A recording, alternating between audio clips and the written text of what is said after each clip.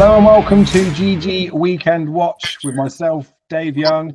And this week I'm joined by Andrew Mount and Matty Sutcliffe. It's the boys on tour this particular week. We've got nine races on ITV that we'll be covering. Haydock, Ascot, and then the Morgianas thrown in from Punchestown.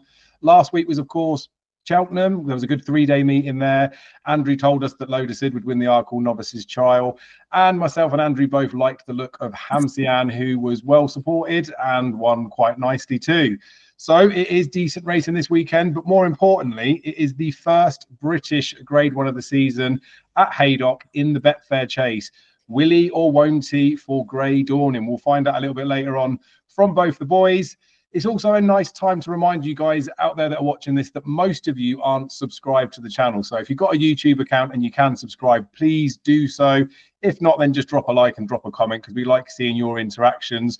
But we're going to crack on. There's nine of these races to get through it's decent action. It's not just the grade one Betfair chase that we've got. We've got the grade one Morgiana as well. There's a couple of grade twos. There's a graduation chase. There's four juicy looking handicaps. This is right the right kind of stuff for both Matty and Andrew to get stuck into. So we kick off in the first at Haydock. It's the 115 handicap hurdle over two miles three furlongs. At the moment, we have got Beat the Bat top in the market. He's a nine to two top price. Steel Ally's in second at six to one. Camsonas is next in at 13 to two, followed by Silver Trophy winner Josh the Boss. Look, this looks a pretty deep race to get started with, Andrew. There's 15 runners going to post. We've got quite a few extended places up for grabs at the moment. They may extend even further as it goes on. But will you need to use them, or do you think you've got the winner? Um, I'm going to have to back Josh the Boss. I think, given the form of that Chepstow race, worked out incredibly well. Eleven horses have run since. Um, five won at the next time of asking. Two seconds, two fourths, a ninth, and a pulled up. Some of those horses have run more than twice, uh, more, uh, twice or more since that race. You know, Active Authority, for example, won his next two. So I think in in total. It's thrown up something like seven or eight subsequent winners, a whole load of places. You know, the time was fast, and not only did Josh the Boss win, he did so in comfortable fashion by four lengths. Uh, from Doyen Quest, of course, in second. We'll hear more about him later on. So uh, I thought once it was confirmed that he was definitely running, he'd shorten up but he's around about 7 to 1, 15 to 2, maybe because the ground's potentially going to be very soft. Well, we should talk about the ground at Haydock. Um, some of the forecasts are saying it's going to be biblical rain between now and post time. You know, we could be in the sort of heavy, waterlogged in places, only just surviving an inspection kind of going. Um, but so yeah, I've sort of worked a soft ground, even heavy ground preference into my selections today. So I'll back Josh the boss. Wasn't quite so keen on um, you know, beat the bat after the absence. Has been off the track for 344 days, particularly if it does get testing. Steel Ally's got the sort of um, front running style you don't mind at Haydock, but he's uh, he's only won once from nine starts. Um, Cam- is well near the head of the betting, but he's never backed up a win. No wins from four starts immediately following a win. Third, second, sixth, and a nowhere. And I thought Punta del Este might have been flattered by that third at Carlisle last time when widest of all. If you're not familiar with Carlisle hurdles form this season, if you're not wide on the track, you haven't got a prayer.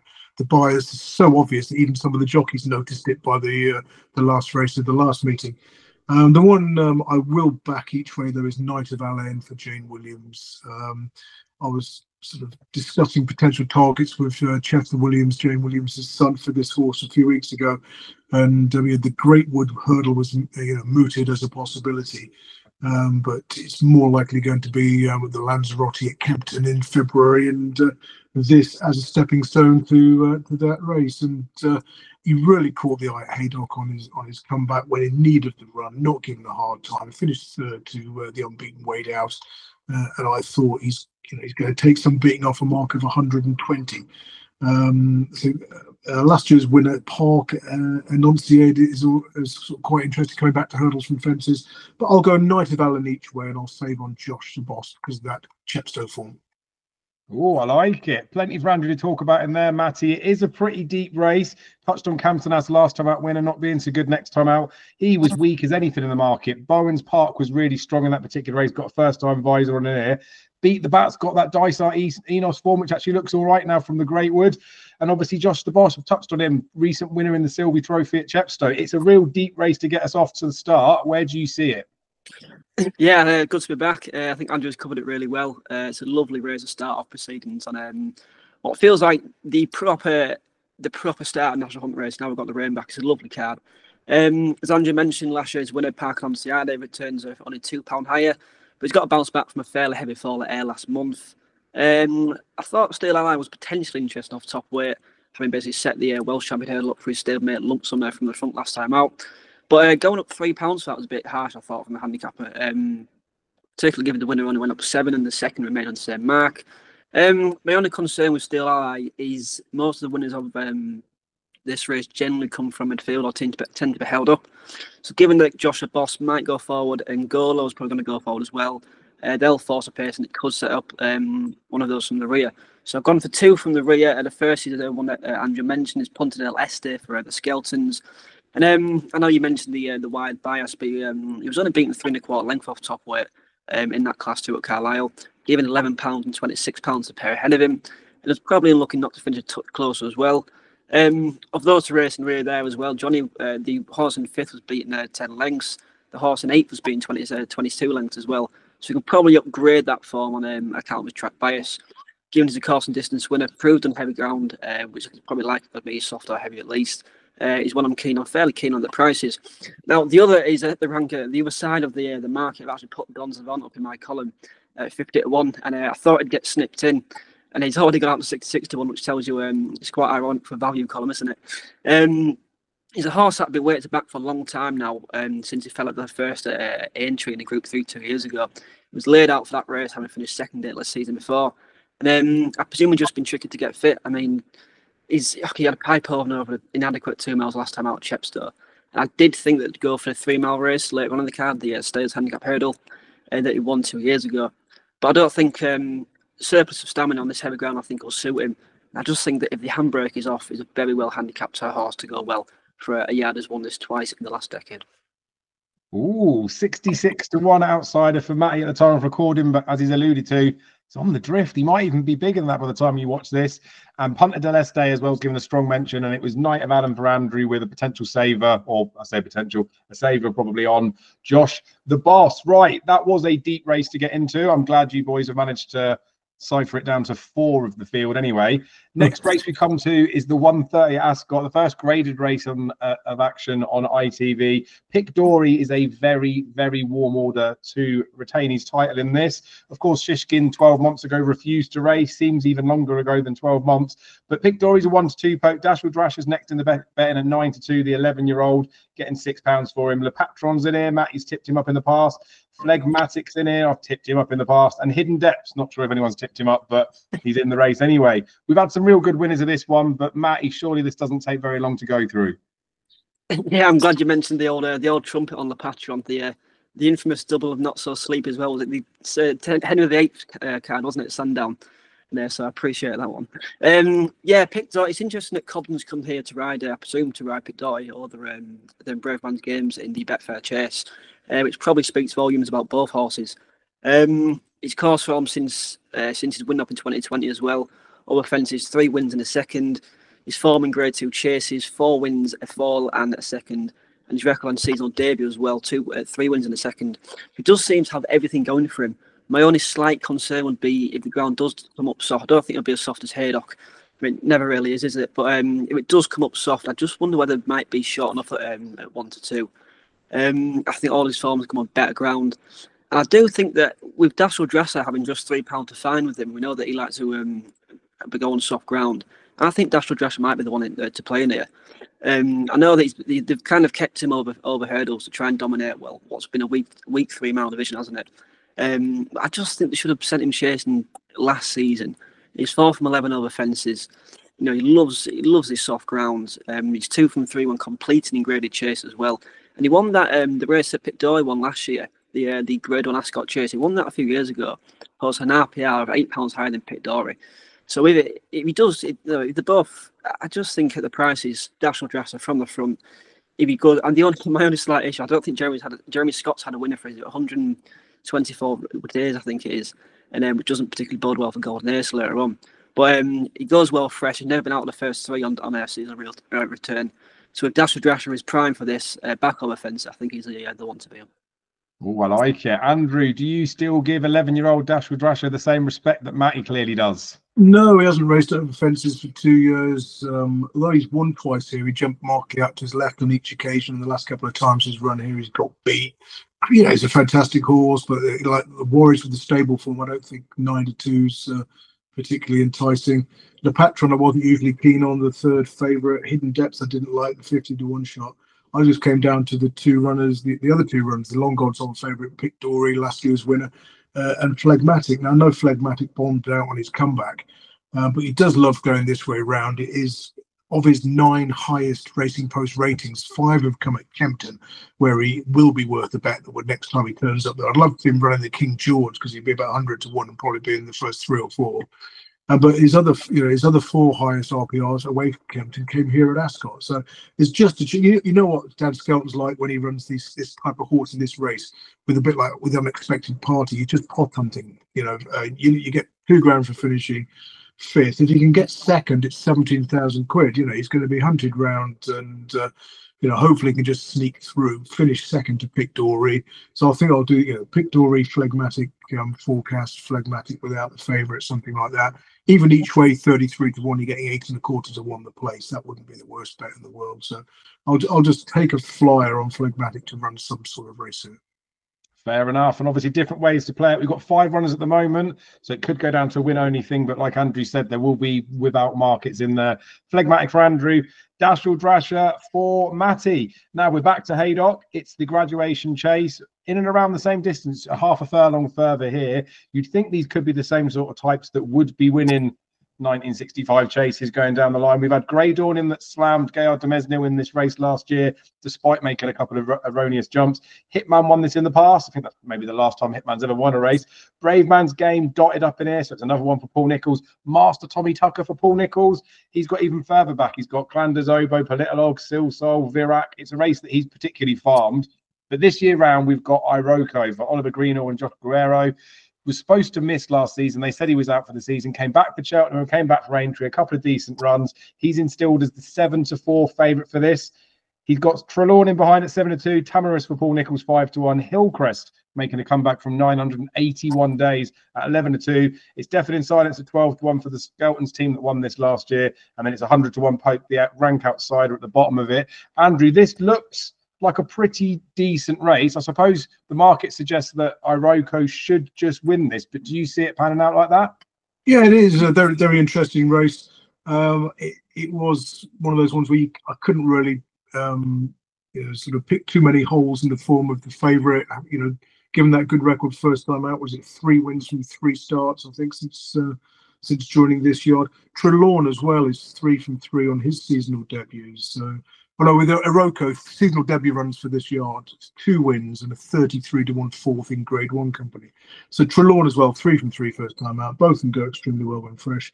Um, Tamoris has been off the track for 273 days. And basically, as a general rule with Nicholls horses, since the 1st of October, anything been off the track for 150 days or longer is underperforming. Even though he's had some winners, that's something we should have mentioned with Pic D'Orhy as well they're basically running at a much lower than expected uh, win rate. Whereas those who've had a race within the last five weeks, like Il Ridoto had before winning at um, uh, Cheltenham last week, they're taking a big step forward. So I'm very wary of anything that Nicol, first time out Nicholls runners at the moment. So uh, I'll I'll avoid Tamoris. I, it's probably going to be Iroko and Trelawne fighting it out. Hillcrest is fascinating after that 981 day absence, but you know he's certainly entitled to improve for the run. The other one that was half interesting was Deafening Silence. So Dan Scales only had nine runners in graduation chase company previously. Two of those won. Um, several others finished in the frame and uh, only one of those was making its chase debut, and um, that was one who um, jumped like a hairy dog, but then won second time out at uh, at twelve to one. So do keep an eye on, on deafening silence after the 351 day break. Possibly not for this run, uh, but maybe next time. But I'll of the two, I'll go Trelawne because of that 100% record first time out and the fact that he's um, twice the price of Iroko. But I think it's between the two. Nice, Matt. It seems fairly straightforward to Andrew then, looking towards the head of the market, but going for the second favourite Trelawne with that impeccable first time out record. How did you see this? Yeah, it's one that I think we shouldn't overcomplicate, isn't it? Um, if Iroko brings that that entry form, I'd be. Um, I know the way you're thinking, the Kim Muir winner. If he brings that form, he's he's he'd be tough to beat. I think he's clear on ratings. Um, I mean, I wouldn't be getting stuck in the crisis, but I think he just the the obvious winner. Obviously, Paul Nicholls won this race seven the last ten renewals, so Tomeris had to be of interest, and I know that it, it was a lot better on the cheek piece he went on. It's just a, a bit dog-like. I'd question his attitude, and um, he'd have had to strengthen up some serious amount from from last season where it was still really raw. Um, Trelawne's an interesting one. I think I just think he might be minded for the Ultima again. I think wasn't he sent off five to one for that? Um, I think he fell at second as well. So I just imagine that they might mind his mark for that. Hillcrest is uh, Hillcrest could be absolutely anything. Couldn't it? The archetypal, anything he does over hurdles in a bonus. Just I think he's 18 hands, isn't it? Um, it's just so hard to get get fit, but he has been entered quite in quite a few races, and um, which suggests that they are quite keen to get him out. He was entered at the in the novice shares that you talked to on Sunday. So the fact that they come for this instead suggests that they are keen to uh, keen to get him going. Um, as Andrew mentioned, Deafening Silence is one that I've been um, looking forward to going over a fence. Uh, he beat that Sine Nomine in um, in a point about three years ago. I know you can't call out the form now, but um, ever since then, that that Sine Nomine won the Fox Hunters last season. He's been prolific in points, and um, he's always been a chaser. He loves bottomless ground, and um, just wonder whether first time out will, will be this will be the target. Um, but yeah, I just think we shouldn't overcomplicate it and uh, stick with Iroko. I like it. We've gone around about it, but hopefully Iroko does fulfill the promise that he's shown last season. And obviously, like I said, had that setback, still came back in the spring. Maybe he's even better than we've seen today. We're going to find out on Saturday.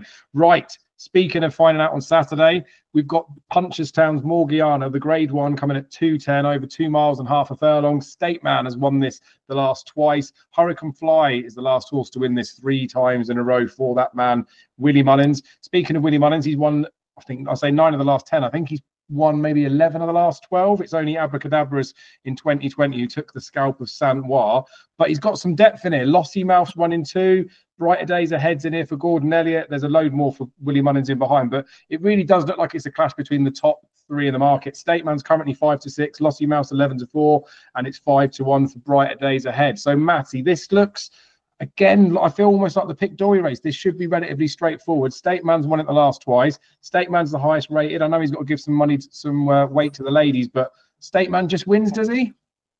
Yeah, he's he's a funny old horse, isn't he? He's a ten-time Group One winner. Yeah, we just don't seem to respect him at all. I mean, if Constitution Hill wasn't around, and well, maybe maybe it won't be around anymore, and um, it just it'd be widely regarded as the best hurdler of his generation. Certainly, certainly my generation, anyways. And um, it's just because he's not a flashy horse. He doesn't beat his rivals by 10, 20 lengths. He just grinds them down and he always gets the job done. And um, so the obvious, the obvious one is State Man. Um, if there is a bet to be had in here, I'd probably go under two lengths State Man maybe, or the forecast with her brighter days ahead. She's got the fittest on the side, and um, she's only three pound worse off and lost him, I think. So that'll negate that. And um, but yeah, keep it simple. State Man to win. I like it. Andrew, is it that straightforward for you too?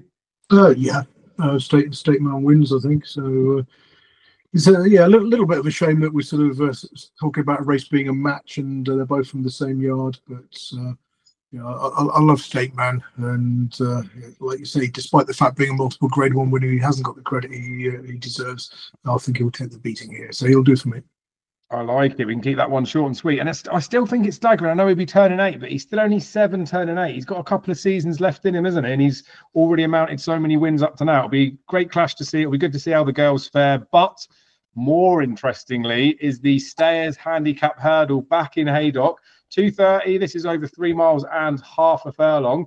This sees Doyen Quest, who won last weekend at the Cheltenham meeting, run again. He's got five pound penalty, but he went up ten pounds, so technically his five pounds went in. He's one of three horses that are last time out winners for Dan Skelton. They've got Catch and Dairy, they've got Gwenny May Boy. We've got Shoot First, that was favourite for a Pertemps a couple of years ago for Charles Byrnes. He had a comeback run recently after a massive layoff. And then back Me, I think I've said that right, for Emmett Mullins and Donagh Meyler, who won the race last year. Um, with the late Slate Lane. Look, it's a, it's a race that's had some good winners in the past. Paisley Park's won this, Sam Spinner's won this, and there's quite a bit of depth in here, I think, Andrew. So, have you had any joy in trying to filter this one down and finding the winner?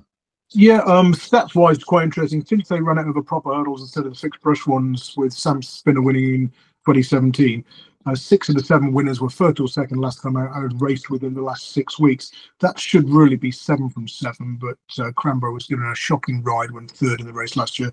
That's probably me talking through my wallet. Um, so you know, it's plenty qualifying on that angle. Doyen Quest, but will he um, like the ground if it does turn genuinely soft or heavy, which is certainly possible? Uh, you know, Catching Derry's three from four, second in the other since switched to um, handicap company. He was a winner 24 days ago. But I'm going to def- I'm going to sort of go against those stats and, and put put up one that I've been backing since last weekend at sort of 33 to one and downwards, which is Patriotik for Evan Williams, who came out of the Josh the Boss um, silver trophy race at Chepstow, the one I talked about earlier on that's worked out so well. Uh, five of the 11 runners won their next start, a couple of seconds. Some of them have won twice since then. Now, he was a real eye catcher in that race. He was a 14 to 1 shot under Isabel Williams, and it was a case of sort of off the pace, crept into it, never near to challenge. Typical Evan Williams comeback run, you think, with a bigger target in mind. Um, he's, he's never won in a, uh, big field. He was second to 14, being three quarters of length at um, Ffos Las on his penultimate start. That was over 2 6 where he was staying on well at the business end. That Chepstow race was two miles, three and a half. I thought stepping back up to, um, well, stepping up to three miles for the first time would suit. He's around about 14 to 1 best now. With all those enhanced place terms, I just thought uh, each way he was going to be, you know, finishing to good effect and should be in, in the first two or three. You go through his career, uh, but for a fall, he's never been out of um, the first three, apart from that comeback run at Chepstow, which was uh, probably his best run ever, you know, finishing fifth of 17. So I'll go for Patriotik, Patriotik, however you want to say it. Um, I'll be uh, screaming the place down if this wins. I like it. So as you mentioned, it has been well supported. Top price 14 to 1 at the time of recording, a general 12 to 1 poke, but there are five places up for grabs. I say with this being a 16 runner handicap, it should only be four places, shouldn't it? But we know what I'm like week in, week out, asking the bookies to play 16 places when there's 16 runners. Matty, it, like it's interesting, Andrew touching on there with the, with the fact that the ground could change. Doyen Quest was a good winner, is five pounds well in. People are looking at the front of the market and think maybe he's a good thing, but the Skeltons have obviously put a couple in behind as well. So maybe confidence isn't as strong as it could be. But like I say, Charles Byrnes has got shoot first. Back um, back Masakme. I don't know why I've said that one again. It was two hard the first time, but it's obviously interesting for connections from last year. It does look quite a deep race. So where did your pin fall in this one? Yeah, well, I was I was wondering where the 33s about Patriotik when I was going to put him up in my column this morning. I realised Andrew's taking it all. Hmm. Couldn't believe it. And um, yeah, so this is the race that I was hoping Dans Le Vent was going to go for. Um, but since when I realised they, they were taking Patrick instead, I, I focused on that one. And um, as Andrew said, like he was such an eye catch from that silver trophy at Chepstow coming from the rear. The only other ones come from rear was Doyen Quest, who's obviously built to the form since. And um, with all that form working out, I think the second was um, got a third was a winner listed company next time out. Uh, take no chances. And um, so the form looks strong. I think it, it looks like he'll get these three miles on a, on the eye. And um, I think Patriotik is a good bet. The one thing, the one one I will also have a probably saver on is a Phantom of the Point for David Pipe. Um, Pipe won this with Main Fact a few years ago. It was a generally race over two miles in the majority of his, of his career. And um, I was keen on of the Points last week at um, the in that conditional jockeys race at Cheltenham. It was a non-run on account of self certificate. Probably, I think it was the ground that did him. Well, I um, was going to ask you about that, Matt, because they pulled him out on his final start last year on soft ground, mm. and it's a non-runner self-cert other. So I just wondered what the what the deal was, and uh, there yeah, well, I, I, thought he'd get uh, good ground. He's, he's out of a Galileo mare and uh, by Mount Nelson, so I thought the good ground would be fine. But um, after I put him up, I, I saw uh, David's pipe stable talk saying that he's a, he's a chaser for the future and wants soft ground. So I, I, do think the ground will be fine. Um, I think the fact that took him out last week and probably been entering this for a while, I think this is probably the the ideal target. Um, whether he is classy enough, I'm not too sure, but he's well handicapped in some form last season. Um, and I think stepping up from from generally two to uh, I think the last time he went over two mile four, just jumped out to his right all the time, didn't he? Around um, around his left around Ascot, I think it was. So I think going back around this way now, he can jump to his left, stepping up the trip that'll suit as well on this ground. So I'll play a uh, Patriotik and a uh, phantom and a points each way. Lovely. So the boys are in agreement there with Patriotik. It's like I say, general 12 to 1 poke, but top price 14 to 1 at the time of recording. And then Matt is going to give Phantom of the points a chance and hope that this time there's not a seltzer putting him out. There's got to be a limit to how many times you can just keep doing that over and over again, isn't there? I don't know what that is. Maybe I'll research it for next week. Anyway, I digress. Let's crack on with some more graded well, action. I think I think you can put you can pull a um, non-runner out for anything because remember that one at Kempton where the owner couldn't get to the track it had been tipped up by Hugh Taylor. It was like 14 into twos or something like that. And uh, the conspiracy theorists thought that oh the, the, owner didn't get the price, so he's got the hump and he's uh, he's refusing to run his horse. So yeah, basically you can you don't you know you don't really have to give an excuse, or you can just you know make up one. I've got a doctor's appointment, or left my left my PE kit at home. Well, there we go. That's something else to add to my to-do list when I become king of the world or change the rules of everything. What I won't change the rules of though is the grade two Ascot hurdle. This is a cracker every single year. Just need to remind all the folk that have probably forgotten. I said that Blueking D'Oroux was the worst priced horse of the entire weekend when he dotted up and won this last year. So that reminds us who last year's winner was. Matt has already alluded to the fact that Golden Ace is running in this race for Jeremy Scott. She comes in after winning the Mayor's Novices Hurdle. Thunder Rock that didn't run in the uh, West Yorkshire Hurdle at Wetherby. We've got Lucky Place that ran so well in a Coral Cup for Nicky Henderson. Salver for Gary and Josh Moore. And then Colonel Mustard for Mrs. Lorna Fowler. It's a pretty good race. When you look down the history of the winners of this race, like I say, Blueking D'Oroux won it last year. We've had Goshen win it. We've had If the Cap Fits. We've had Song for, uh, Song for Someone when he was a bit younger as well. Little Rockefeller, Yanworth, Rock on Ruby. All the way back, you can see Faugheen has won this one. So there is typically a good horse that does go and win this one. Only the six runners potentially going to post, Matty, but it looks a pretty decent race, especially on the way that the weight adjusted ratings would work out. So I'm interested to know how you think this one will pan out. Yeah, I never thought I'd hear a Faugheen and Goshen in the same sentence, but, but there we go. Um, yeah, as I mentioned with Golden Ace, like she's she's a remarkable horse. She's by Golden Horn out of uh, Elizabeth on the flat for John Gosden. But her attitude for her hurdling is remarkable. I mean, to think that the uh, the Mares Novice she won at the festival, two subsequent Group One winners have come from that race. I don't think it was a fluke by any means, and uh, she has to be respected. And if anything on that form, nine to four is a bit lenient. You just have to worry about the yard form, don't you? I mean, I know that somewhere Daniel Carr is shaking his fist and saying yard form doesn't matter, which um, which was entitled to their own opinion. And then she's already approved against the boys as well, and uh, I just couldn't chance on that yard form. Uh, Blueking D'Oroux, I'm not. He won the race last season, beat the subsequent entry uh, Stayers Hill, win a strong leader. Um, I'm unsure whether this mark of 150 probably flatters him a little bit. I know it's not a handicap, but I mean, people will be backing him based on that mark. I'm not sure rating is quite warranted. Um, lucky places of interest. He was the one that one of the only ones who ran really well for Nicky Henderson at the festival in the Coral Cup, I think it was. Um, I think it was under him and Lu- Lucia maybe. Um, and obviously the form with Golden Ace from earlier on in the season probably puts him quite up there. Uh, the one I'm most keen on, if it does turn soft, is Salver for uh, Gary Moore.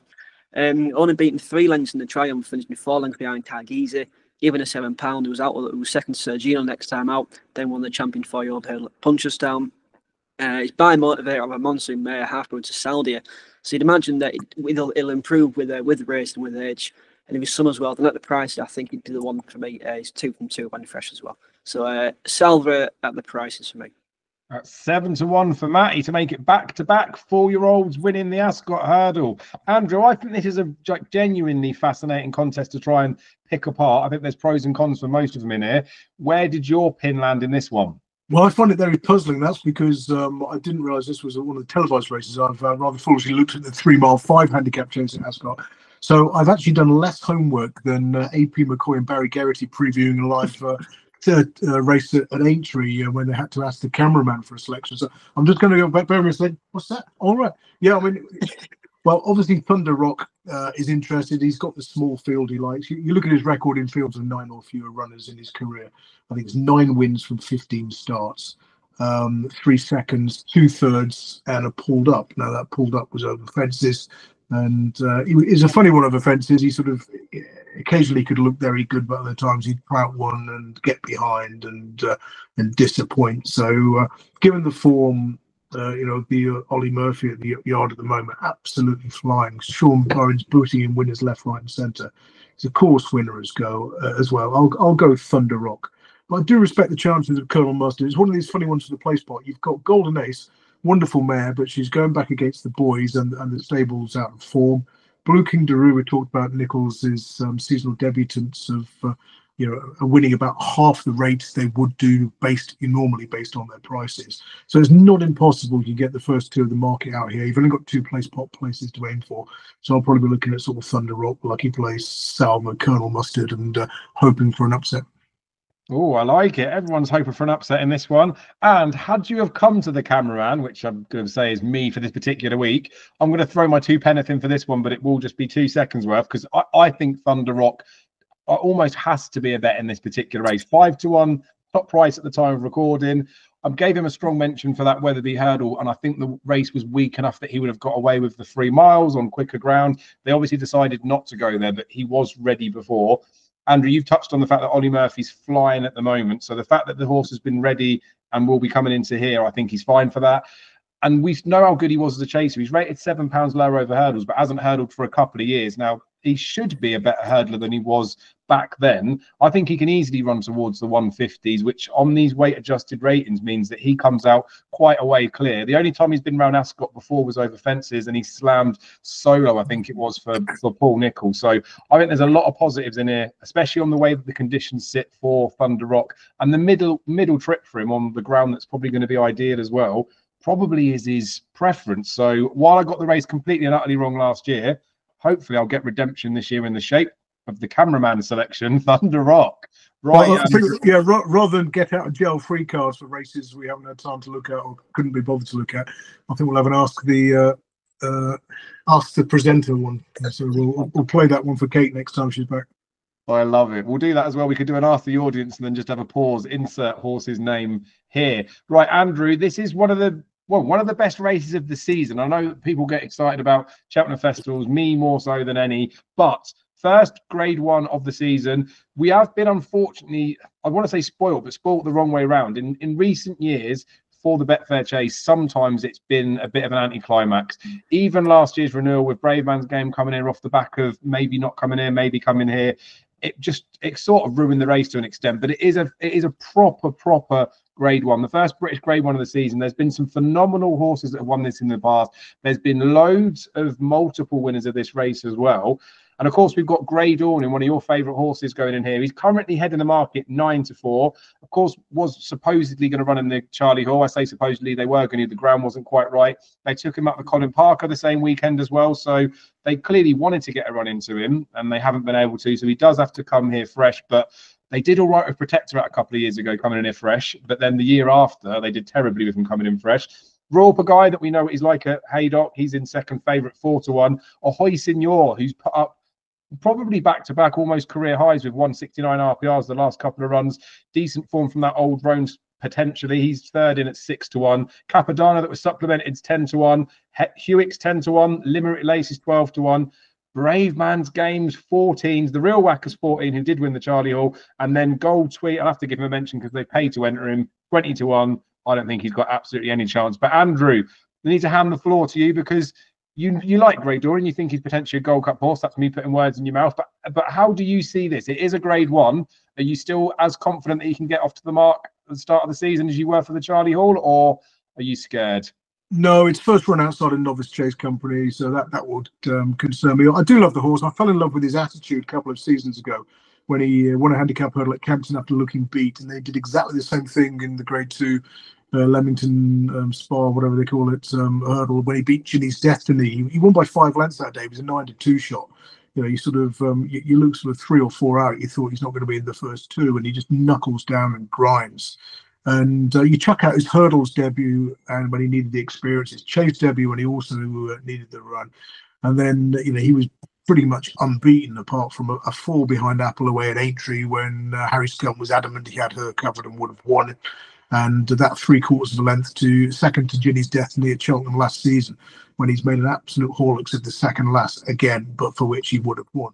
So he's obviously won the Turners on soft ground. He's then gone to Aintree It's probably come a little bit too soon. It's probably a case of um, two and a half miles on a, on a sort of sharp track.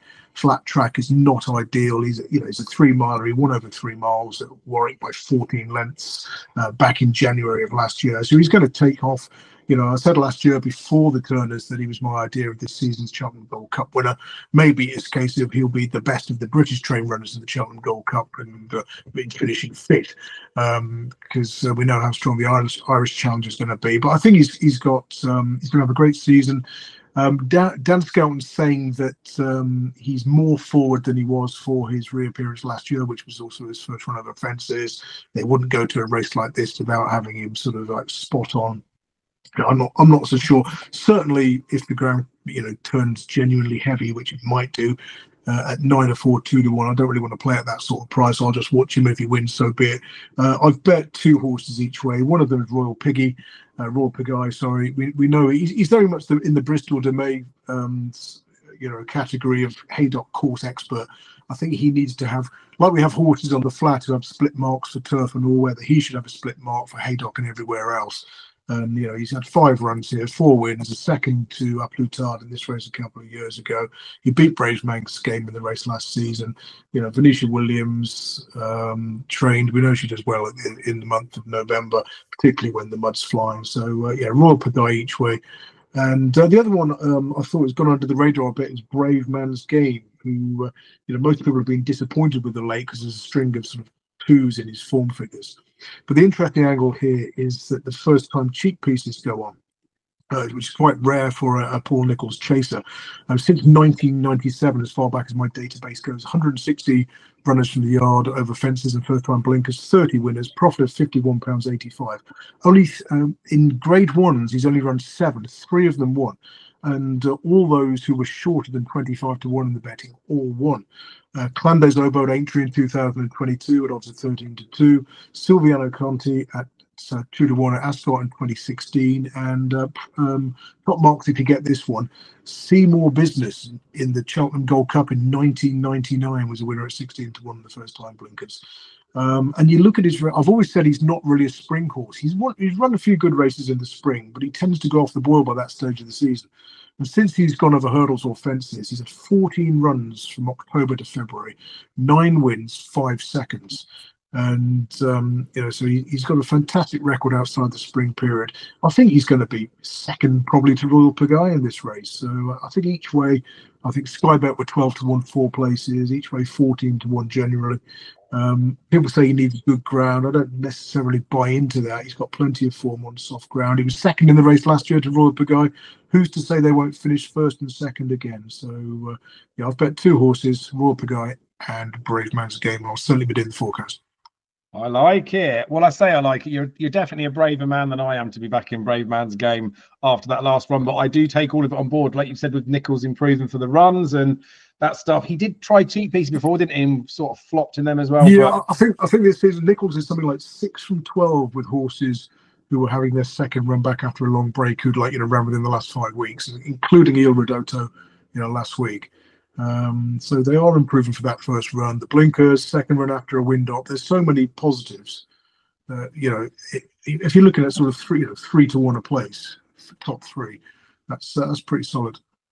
Absolutely, yeah. And of course, he was sent off favourite for that. Charlie Hall was expected to go a little bit better. And 14 to 1 about a horse like Bravemansgame in a race like this. He was sent off odds on favourite for it last year, I believe, even though we knew that he probably wasn't 100% in for it. Is even sort of semi tempting to me, but not tempting enough. Matty, it's it's a real decent race. We've got like a good sized field to go out. Andrew's mentioned there's one firm that actually are offering four places up for grabs. We've got nine runners in here as long as they all go to post. How do you see it? Do you think the Grey Dawning can be the first 150s horse since the horse that took advantage of Kauto Stars fall, or do you think he's going to need this as much as we do? Uh, I'm not. Yeah, I, I, echo everything what Andrew said. Was for you. Um, you look at the official ratings of the last ten winners, all between 160 and 174, and um, horses coming out of novice company generally tend to struggle here. Um, for all the horses fresh do win quite often this race. I just think that it'll come on for this run, and um, maybe something like the King George uh, around Christmas time. And um, yeah, I, I, agree with Andrew in the sense I do think it'd be very good. He'll for sure well in a Gold Cup.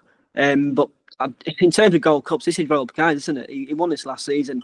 I know we've not seen him uh, since he fell in the Cotswold Chase um, back in January, I think it was. Um, but as I say, this will be his Gold Cup season de- derby record, second, a first, two seconds, another first. Uh, loves the conditions. I just can't, I can't envisage Venetia not having him prime for this. Um, Bravemansgame. I just I don't I wouldn't be as negative than about him than everyone else is. I mean, I still think he's one of the best jumpers in training. I just don't think he stays the yard above three miles. Um, I think it's his class that got him apart in the Gold Cups. Um, Kempton over three miles, not the stiffest of tracks. And um, the blinkers are an interesting angle it goes from the front. Uh, I wouldn't be stepping him up any further than three miles. I think they, they want to give him an entry in the, uh, the national, don't they? What, what, what a waste of money that'll be. Um, I think he'll show up well here and then work back from the work back to the Ryanair like the, like Skelton did with Protektorat last season. Um, but yeah, I do think Bravemansgame will go well. Ahoy Senor, if any, uh, Lucinda also mentioned they found out something, uh, an issue in his back, didn't they? Um, which is why he's been jumping quite funny. Um, so and since then he, he, he showed up so well last time in uh, in the ball at Aintree behind Gerri Colombe.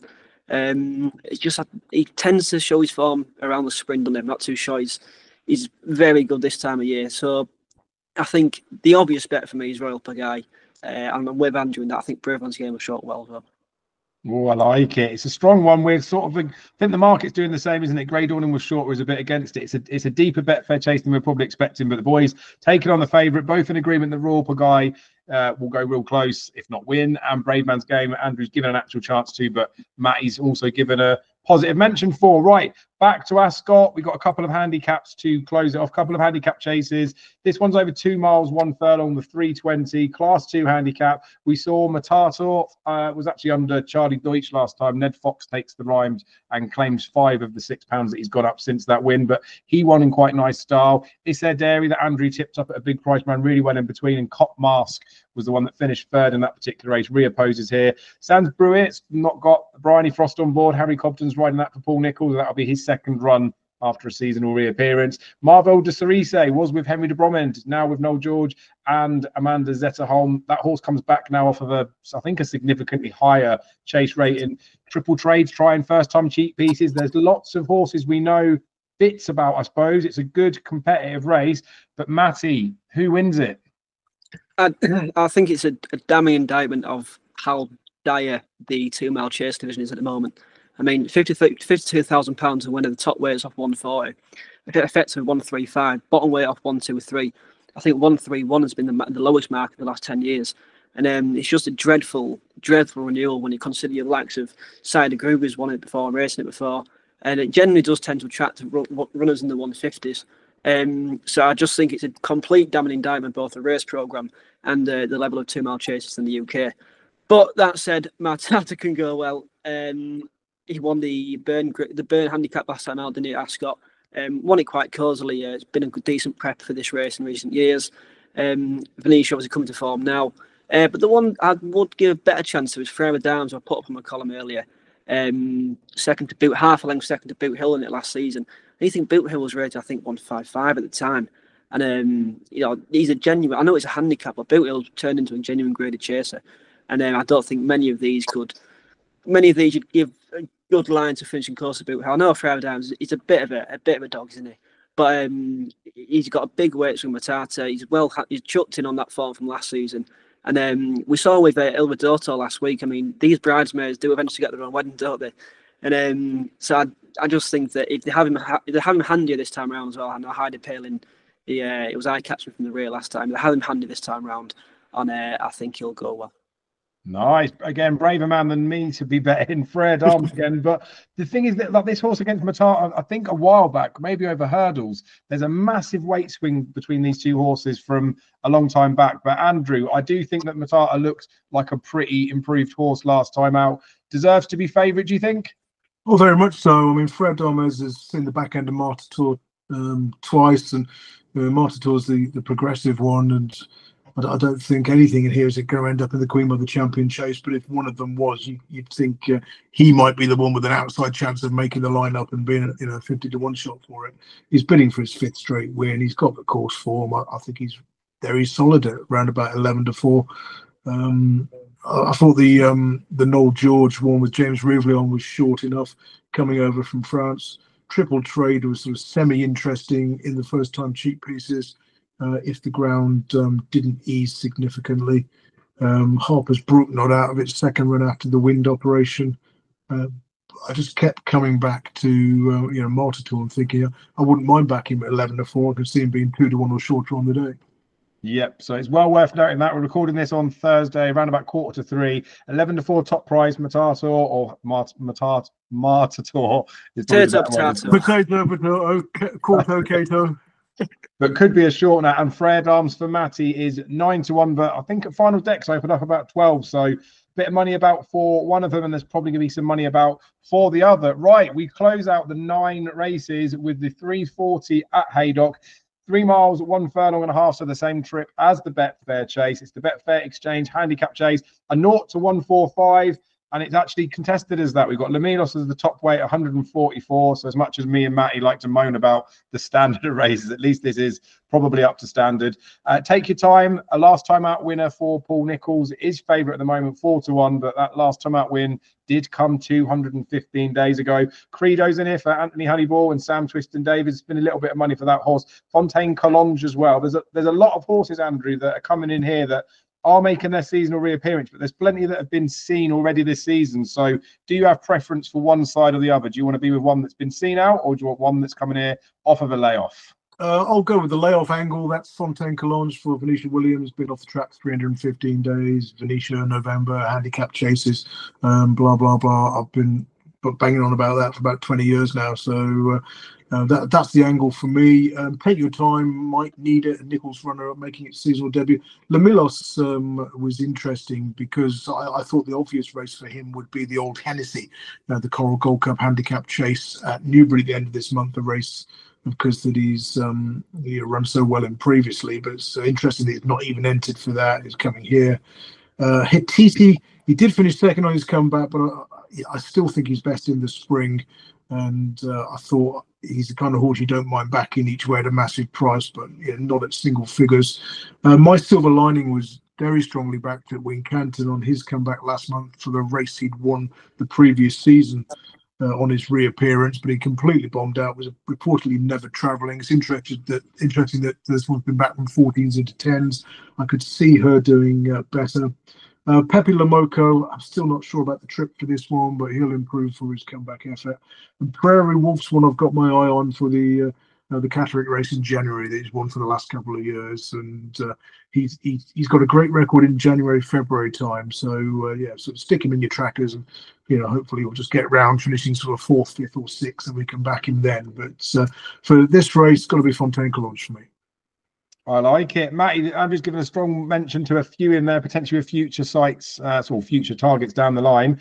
What do you see for this 340? Who do you think wins this particular race? Uh, yeah, I'm glad Andrew mentioned uh, Prairie Wolves. I, I, don't think this this will be the target. Will be as either with Sue Smith runners. Um, well, Joel Parkinson's on the on the uh, on the license now. I think Harvey Smith's grandson is uh, Joel Parkinson.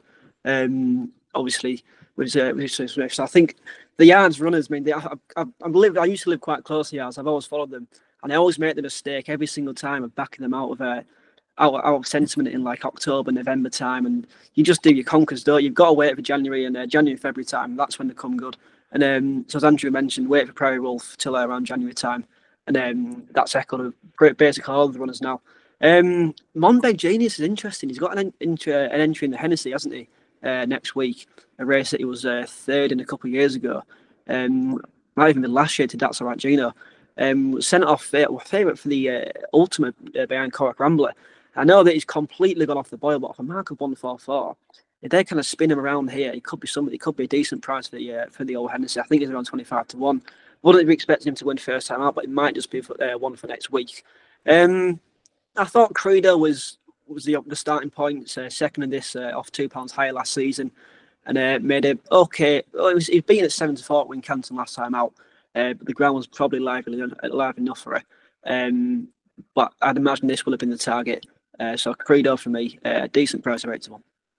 I like it. So Credo for Matty at eight to one, and it was Fontaine Collonges for Venetia, Charlie Deutsch, and Andrew Mount at seven to one. Right, gentlemen, we've had quite a lot to cover in there. There is still some decent racing across the rest of the weekend. So Matty, was there anything from you or anything from anywhere else? Uh, not from anywhere else, no. But it's worth mentioning. Uh, watching that Ballyburn Chase Derby, isn't it? Uh, it could be anything this season. Absolutely. Andrew, did you get time to look at anything from anywhere else? Yeah, well, having looked at the 205 Ascot, the three mile, five furlong handicap chase, I to mention uh, uh, the, the, the, ones I was looking at there, particularly interested in Fortescue for Henry Daly. Um, he's got a fantastic record in chases of 11 or fewer runners, um, 17 runs, six wins, seven seconds um, three thirds and a fourth and a, a seventh and a field of sort of 17, 18 runners, I think it was at Sandown. So uh, Fortescue each way or place only in that 205 at Ascot. Haven't seen any prices yet. I like it. So we've given us given the viewers 10 races to get stuck into this weekend. Right, Andrew, I'm going to give you some warning. I will be asking you for a nap, but Matty, Oh, you pulled that one out the fire, didn't you? as we've Wasn't brought you back, that. Matty, I'm going to let you let you have first crack at the nap for this weekend. Who's your best bet of the ITV races we've covered, or is it coming elsewhere? I'd I'd probably go Royale Pagaille, um, without the risk of stealing what, what might be Andrews. Uh, Royale Pagaille, and I'll give my next best will be Donzavon uh, in the 115 at Haydock. Nap and the next best, right, Andrew? You can give a nap and the next best if you want, or just a nap, please. Well, I'll go nap 230, the Stayers Handicap Hurdle. That's uh, Patriotik for Evan Williams. And uh, yeah, next best would be Royal, the Royale Pagaille um, Bravemansgame straight forecast.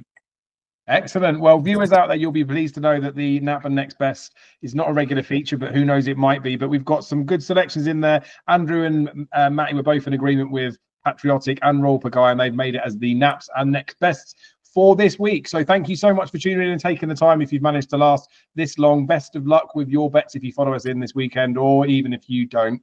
And we will see you again next week.